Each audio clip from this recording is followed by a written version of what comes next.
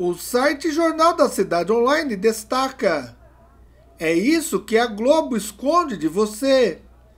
A pior censura da história. Confira. O sistema está em curto.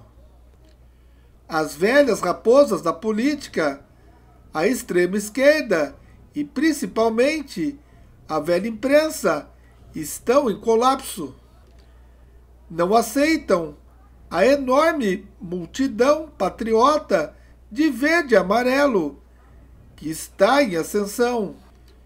Veja o nosso caso. O próprio Jornal da Cidade Online está censurado. Querem nos calar.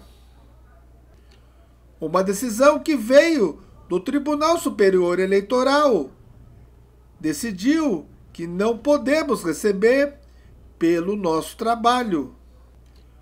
Fomos desmonetizados com a mordaça mais covarde possível. Até o momento, estamos sobrevivendo e tentando lutar por um país melhor.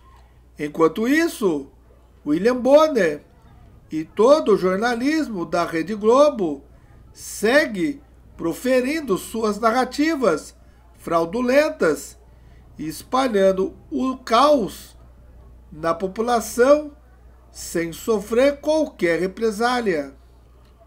Uma insanidade total.